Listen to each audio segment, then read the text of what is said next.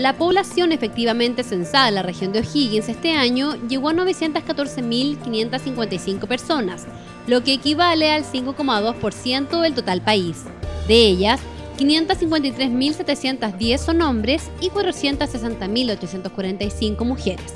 En cuanto al número de viviendas, los resultados definitivos indican que en la región alcanzaron las 354.313. Así, se desprende de los primeros resultados definitivos del censo 2017 que dio a conocer el Instituto Nacional de Estadísticas y que incluyen la población total de personas censadas en su estructura por edad y sexo a nivel nacional, regional y comunal, así como la cantidad de viviendas.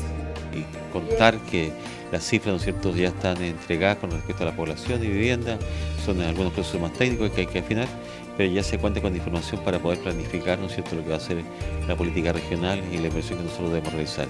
Eh, hay información eh, relevante, nueva, el envejecimiento de la población en algunos sectores, el, el tema de vivienda, que permite que efectivamente tanto estas autoridades como las nuevas autoridades puedan tomar determinaciones en política hacia la comunidad de la región.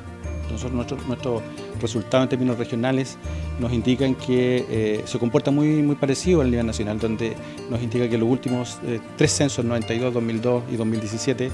no, ha ido una evolución en términos de crecimiento de las personas que están mayores de 65 años y un decrecimiento de, las, de, las, eh, de los niños entre 0 y 14 años.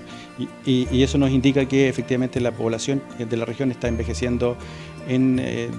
un poquito rápido, digamos, de, alguna manera. La segunda entrega de resultados definitivos será en abril del año 2018 e incluirá el resto de las variables del cuestionario, esto es, educación, migración, calidad en la construcción de las viviendas, entre otros, a nivel nacional, comunal y con apertura urbano-rural.